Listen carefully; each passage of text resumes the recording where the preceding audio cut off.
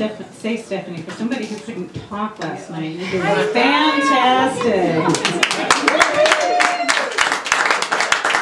It was, my voice was gone bye-bye by card. but it, uh, it came back for a little while. So, uh, so we Didn't want to talk to you. oh crap, and she knows. I'm on you. Yeah. Well, it's funny because I, you know, it's really hard to, uh, because I was trying not to talk last night at all, but I have a five-year-old, and I was trying to explain to her I can't talk, and she's like asking me more questions. Well, why can't you talk? Because I have to sing. And so we went. I was like, I can't.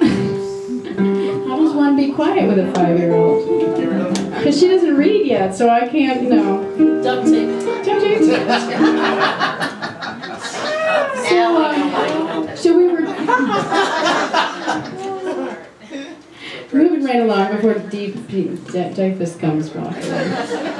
Um, so we met some new friends tonight. There's some people that, that we don't know that that came, um, uh, you know, either through another friend or um, or something, or they. Uh, there was there's one group that actually heard us on the Gene Shay show last Gosh, when was that? Last year. It was, yeah, it was a while ago.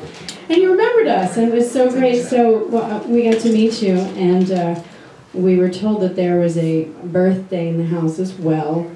So we just wanted to um, send out a special birthday wish for Stan. And Jenny. And Ginny, it's Ginny's birthday too. Yes. Ginny. Didn't know that. You're so secretive. All right, so this is going to go out to both of you guys. Thank you so much for coming to our show.